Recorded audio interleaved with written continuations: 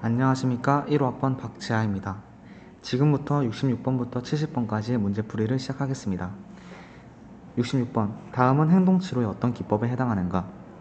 수영하기를 두려워하는 어린 딸에게 수영을 가르치기 위해 아버지가 직접 수영하는 것을 보여주었다. 학습자가 모델을 관찰함으로써 인지정서 행동이 변화하는 과정을 설명하는 예문이겠네요. 반두라의 모델링 개념이 되겠습니다. 정답은 3번. 나머지 개념들도 다 알아보겠습니다. 역족 권한은 특정 자극에 새로운 자극을 더 강하게 연합시켜 이전에 학습된 반응을 제거하고 새로운 반응을 형성하는 것입니다.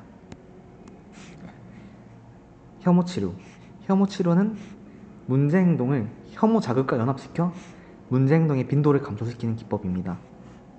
4번 체계적 둔감화.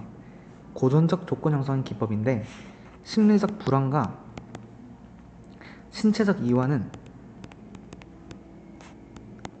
병존할 수 없다는 것을 전제로 하는 상호 억제 원리를 이용하는 기법입니다. 체계적 둔감화의 순서는 첫 번째 이완 기술의 훈련 두 번째 불안 위계표 작성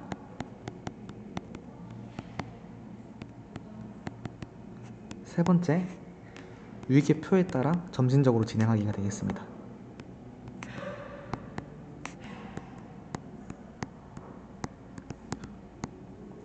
(67번) 바람직한 행동을 한 아동에게 그 아동이 평소 싫어하던 화장실 청소를 면제해 주었더니 바람직한 행동이 증가했다면 이는 어떤 유형의 조작적 조건 형성에 해당하는가?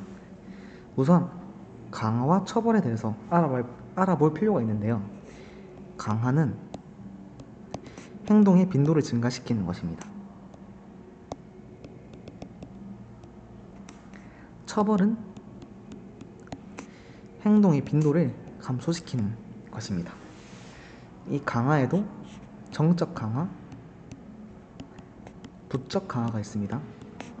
부적 강화는 불쾌작을 제거하여서 행동의 빈도를 증가시키는 것이고 정적 강화는 육회 자극을 제공해서 행동의 빈도를 증가시키는 것입니다. 그렇다면 싫어하던 화장실 청소를 면제해 주었더니 행동이 증가였다면 2번 부적 강화와 관련된 내용입니다. 68번 치료 장면에서의 효과적인 경청과 가장 거리가 먼 것은 우선 경청은 잘 들어주는 것입니다. 1번 볼게요. 내담자가 자신의 문제를 심각하게 얘기하지만 치료자가 보기에는 그렇지 않을 때는 중단시킨다. 치료자가 보았을 때 그렇지 않을 때 중단시키고 초점화를 할 수는 있는데 경청과는 아무래도 거리가 좀 먼 내용입니다. 정답은 1번. 2번 보겠습니다. 치료사는 반응을 보이기 앞서 내담자가 스스로 말할 시간을 충분히 가지고 효과적인 경청을 할 수가 있겠죠?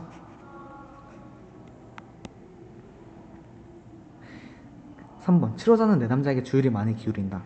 이것도 경청과 관련된 내용입니다. 4번 내담자가 문제점을 피력할 때 가로막지 않고 기다려주면서 효과적인 경청을 할 수가 있겠죠. 정답은 1번입니다. 69번 프로이드의 정신분석적 심리치료에 대한 비판을 토대로 비판을 토대로 발전한 신정신분석학파의 주요 인물 및 치료 접근법에 해당하지 않는 것은 우선 이것은 정답은 4번입니다.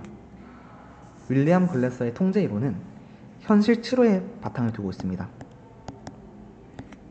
정신과적인 문제도 결국 현실적인 선택의 문제이다 라고 얘기하는 것이 현실 치료인데 프로이드의 정신분석과는 관련이 없는 이론입니다. 무의식보다는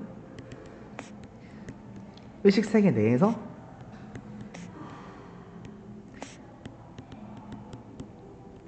현실 지각을 강조하였습니다. 아들러의 이외에 아들러의 기능심리학, 설리반의 대상관계 이론, 대인관계 이론, 페어바인의 대상관계 이론은 모두 다 신정신분석 학파입니다.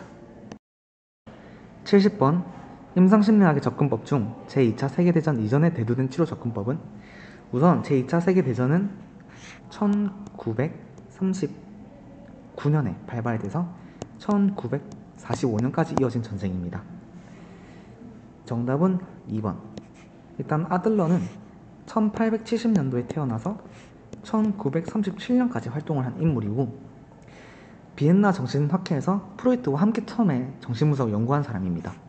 정신분석을 연구했을 때는 1902년부터 1911년까지 연구 이후에 프로이드와 결별 후 자신의 신념과 철학적 입장에 따라 개인 심리학을 창립하였습니다.